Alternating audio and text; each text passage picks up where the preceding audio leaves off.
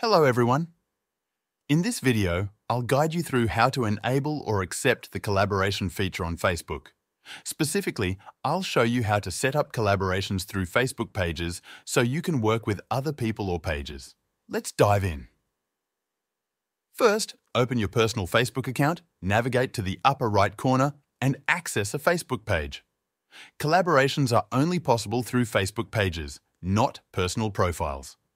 Once you're on the page, look at the navigation menu on the left and select the Meta Business Suite. From the Business Suite, ensure you're in the right Facebook page. If you manage multiple pages, select the one you want to collaborate with here. A crucial point to note, collaboration on Facebook is only available for Reels, not other types of posts. So, to proceed, we need to create a Reel. In the Business Suite, you'll see options like Create Post, Create Ad, and Create Reel. Click on Create Reel, upload your video, and ensure you're posting to the correct page.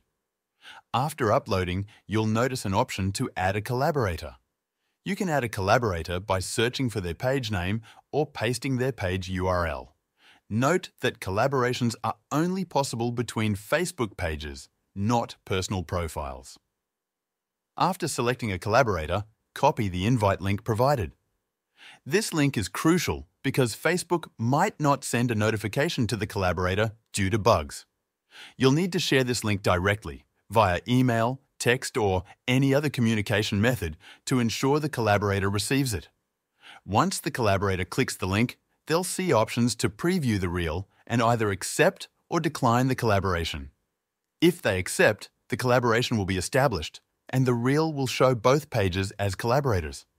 If the collaborator doesn't receive a notification, they won't know about the request unless you send the link manually. Finally, after the collaboration is accepted, the reel will appear on both pages. This process is a bit complicated, but it works. That's it for this video. If this video helped you out, feel free to buy me a coffee using the link in the description. This will support the channel so I can keep making more videos like this.